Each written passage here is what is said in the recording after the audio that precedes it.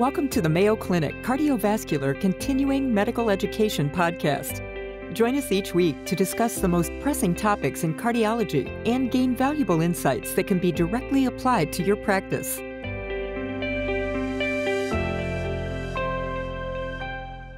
Hello, I'm Dr. Steve Kopecky, a preventive cardiologist at Mayo Clinic in Rochester, Minnesota.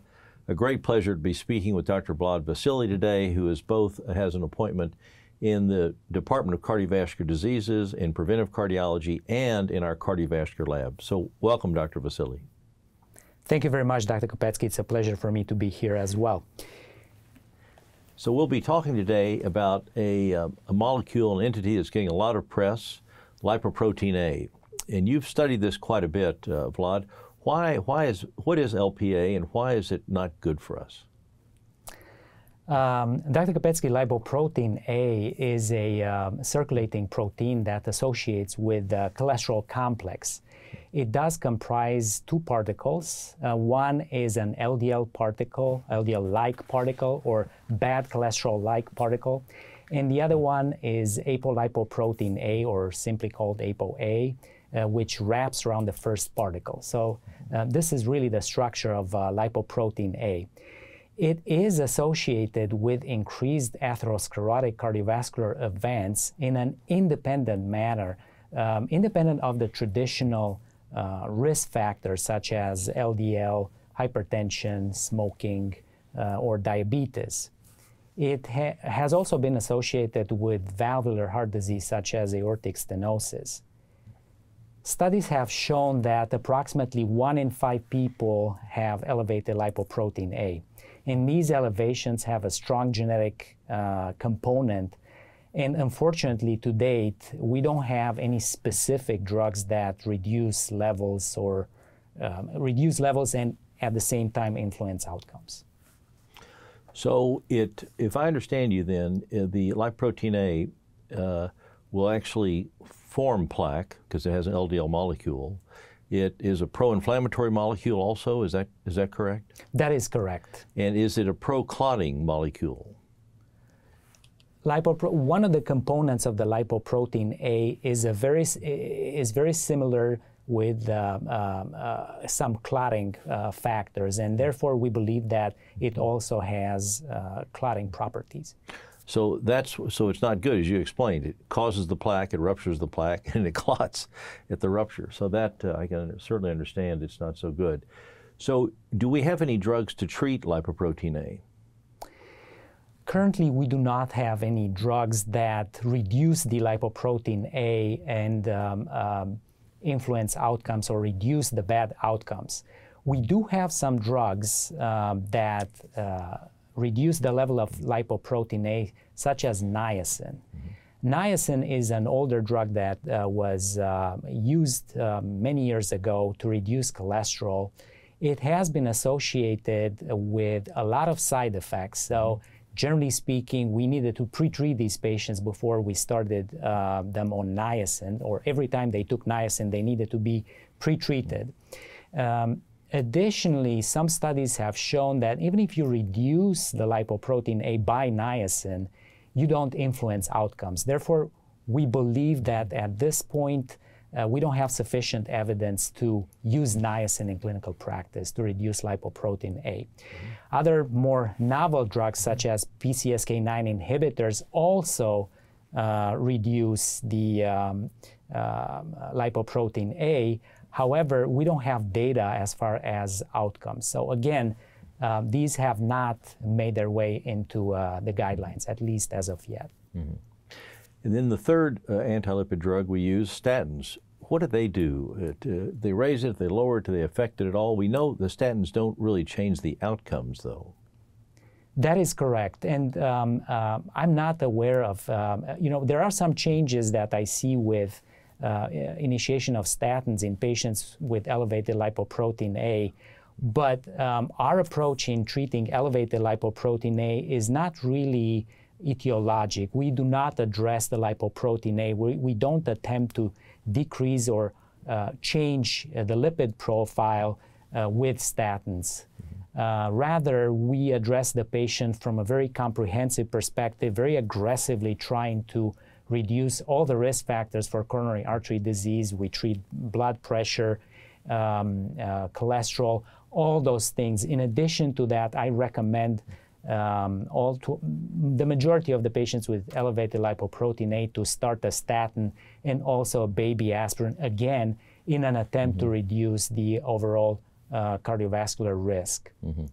And then what about lifestyle, you know, diet, activity? Do we know that benefits them and, or do you recommend it to patients? I absolutely recommend it to all of the patients that have elevated lipoprotein A, again, as an overall and comprehensive approach to reducing the uh, uh, coronary artery disease risk. Very good. Now, why do some people have high levels of LPA and others do not? Is it genetically transmitted? We believe that um, elevation in lipoprotein A has a very strong genetic component. Um, and um, therefore, um, every time I have a patient in the clinic that has elevated lipoprotein A, um, I always recommend that all first degree relatives be screened uh, for lipoprotein A because there is a very strong uh, genetic component. And what do we know about the genetics? Is it a dominant gene or, or how does it work? Um, it is an uh, autosomal dominant gene, but generally we don't test for that uh, particular gene. So if you know the LPA level, you don't need to check the genetics. We don't need to check the genetics because it, it wouldn't influence what we do from the perspective of recommendations and interventions. Okay, very good. Now, you mentioned if you have a patient in clinic with a high LPA, what is the, what's the reason we would check an LPA in a patient anyway? This is a very good question because um, yeah, the uh, topic is uh, quite controversial. Uh, the uh, current US uh, guidelines are um, not very specific in this regards. If you look at the AHA ACC guidelines, they endorse lipoprotein A testing in patients with familial hypercholesterolemia with a 2A uh, level of confidence.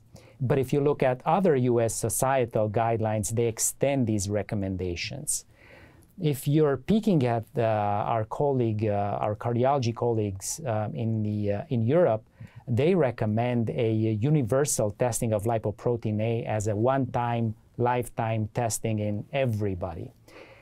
In my practice, I tend to um, test uh, or, or, follow the uh, European Society of Cardiology guidelines and test pretty much everybody uh, once for lipoprotein A because I think this is a, a condition that is often missed.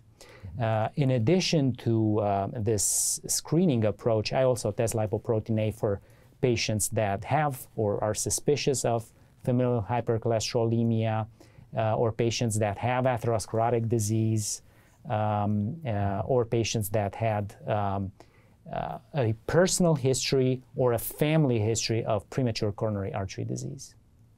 And when you do find a patient that has uh, early ASCVD and you find they have a high LPA, what do you do? You give the patient a letter? to give the family, or do you call call the family in, or how do you manage that? Um, I generally call the patient and um, um, start some sort of interventions. Um, so one thing that is important to know about lipoprotein A is that the level is important. Mm-hmm. Uh, there is a dose response effect, meaning that the higher the level of lipoprotein A, the higher the risk. And this has been recapitulated in many studies.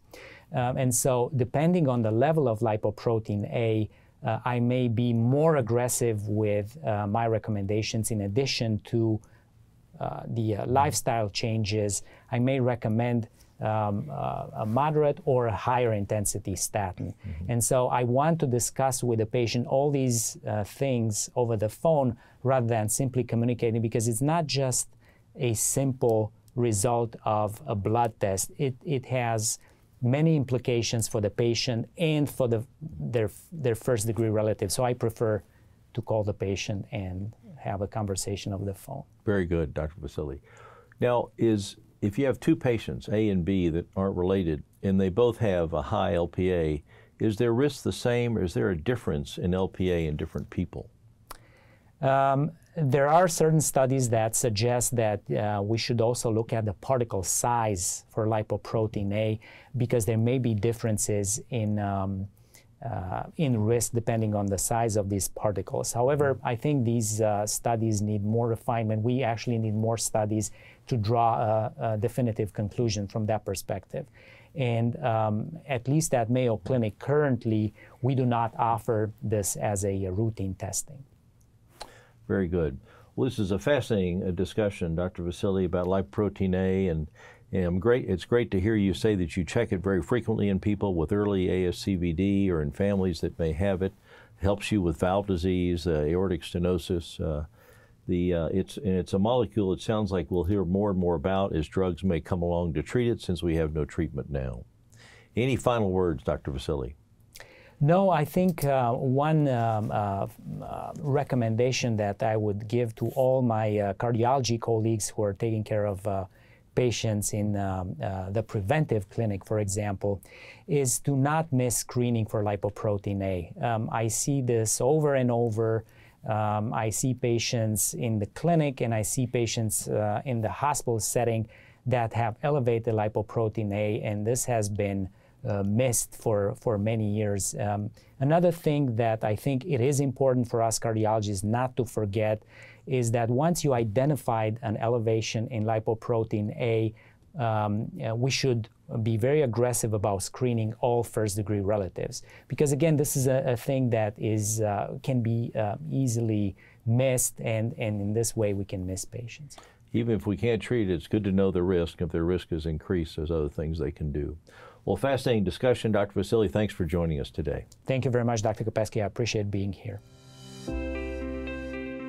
Thank you for joining us today. Feel free to share your thoughts and suggestions about the podcast by emailing cvselfstudy at mayo.edu. Be sure to subscribe to the Mayo Clinic Cardiovascular CME podcast on your favorite platform and tune in each week to explore today's most pressing cardiology topics with your colleagues at Mayo Clinic.